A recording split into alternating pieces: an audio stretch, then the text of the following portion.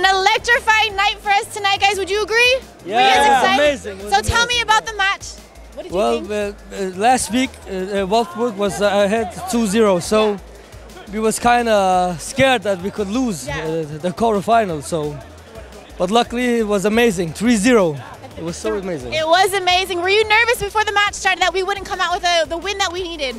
We were nervous, but we was always we always speak about that Ronaldo he will score hat trick, Ah, and he did it yeah, today. Yeah, You guys thought he was going to score a hat trick. yeah. Actually, we did. That's awesome. So, Cristiano, let's talk about Cristiano because he did score a hat trick. He had some amazing goals tonight. How do you think he played? Did he show up tonight? He played. He played definitely. Uh, um, oh, yeah, He was the king. team uh, was fun was functioning very good today. Yeah. But- what do you think? What do you think was different tonight that we didn't see last week in Wolfsburg?